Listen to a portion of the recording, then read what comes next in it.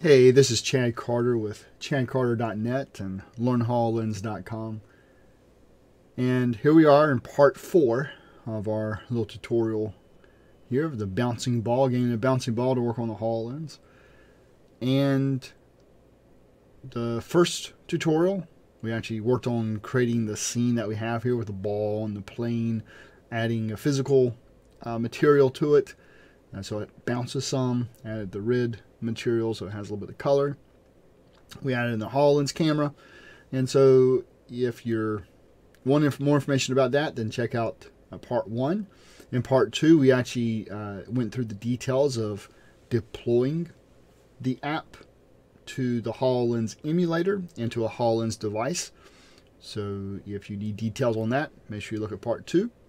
In part three, where we started to expand the tutorial a little bit in that the ball itself can now be reset to right above the camera and in front of the camera. And we did that through voice recognition and uh, keyword manager and also via the spacebar in the editor itself. And that's and then we also uh, showed that running in the emulator in part three. So here we are in part four, and what we're going to do today is add in spatial mapping. So spatial mapping is the process that HoloLens uses to map its surroundings. It is constantly scanning and checking based off its depth uh, cameras how far away uh, things are so it can see okay well hey here is an object that is you know three feet in front of me and it builds up the triangle mesh based off of what it's seeing. And it creates basically a 3D mesh, a 3D object that's constantly being updated based off what it's seeing in the real world. So again, whether it's a couch or a chair or a table and things of that nature. And then your app game experience could actually use that data to uh, handle things like putting uh, something on the coffee table, knowing where the coffee table's at and putting something on the coffee table, or having a little character run around and it sees or it doesn't actually see it might run into a table and bounce off the, the leg of the table because um, the virtual world of this little character run around and the real world of your table are mixed together. And that's what we, you know, kind of consider mixed reality here of the virtual world and the real world coming together. And spatial mapping is what we're going to be implementing in this week's tutorial. So to start off with, we're just going to come up here and look for uh, spatial mapping. And again, we have the Holo Toolkit that we talked about in the very first tutorial. But there's a prefab from the Holo Toolkit we can drag in, which is makes our job really, really easy. So here in the spatial mapping, um, we have this notion of an object surface observer. And this is for the benefit of the editor itself. This script only gets ran in the editor. It does not get ran on the device or the emulator itself. But I'm going to look for a mesh, a special mesh called SR mesh. And this is spatial mapping data uh, that was created. It was scanned in. And now we actually are drawing the visual meshes. It's what's set up here. And again, I'll go a lot more detail into spatial mapping in my, um, in fact, the very first master class that we did back in September of 2016. So in that master class for the premium Learn HoloLens membership site, uh, we go into uh, detail on this. But for purposes of this tutorial, uh, the main thing I want to point out is we can actually test things in the spatial mapping inside the editor. It's actually a very cool thing. So I can bring in the SR mesh I'm going to go and delete this plane. And we'll reset the bouncing ball uh, to like position, you know, 0, 0, 0 in the real world. Or in, in this here. And in our in our world. So that way it's kind of the same place as the camera. Um, you know, if we want to, we could kind of put it above and in front of the camera a little bit. For now, we're just going to have it smacking the center of the world. And therefore, when we actually uh, hit play and bring in the spatial mapping, we'll see over here in this the scene view, the actual spatial mapping data. We see the ball bouncing around and it's interacting with that spatial mapping data.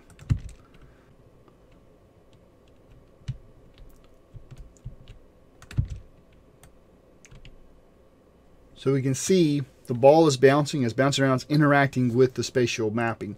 And all we had to do to bring that in is drag in this spatial mapping prefab. We're able to see what's rendered because we actually have this draw visual meshes on. If you're deploying this, it might be that you wouldn't want to actually display the meshes over your object. So if it bounces on the couch, it just looks like it's bouncing on the couch, not on the you know 3D wireframe that's on the couch. What we want to do now is actually deploy this to the HoloLens device itself. So I'm going to deploy this to the HoloLens device so that you can see it running in action and bouncing off different furniture.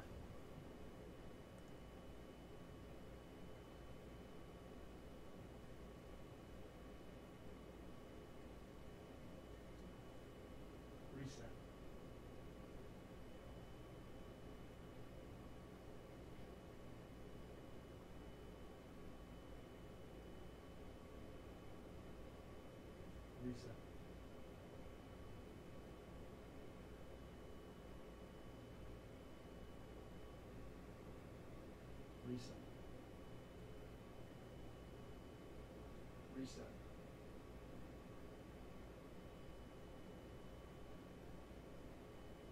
Reset. Reset.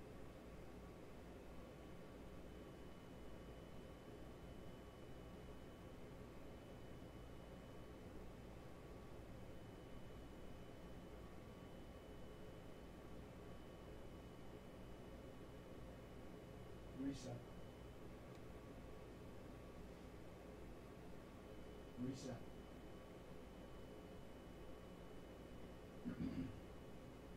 Reset. Reset. Reset.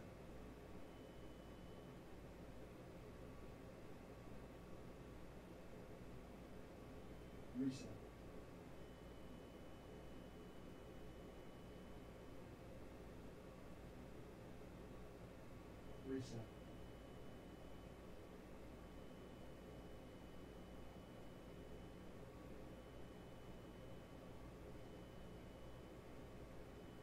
So there you have it.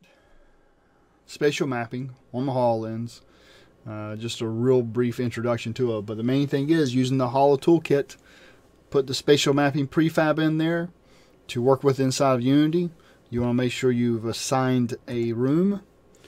Um, so for this this example, use the SR mesh. There's actually a way that you can scan if you have a device, you can scan in your environment and then work inside of Unity with your environment. Um, so you can easily debug things and see how certain uh, things would interact inside of your room or some other room.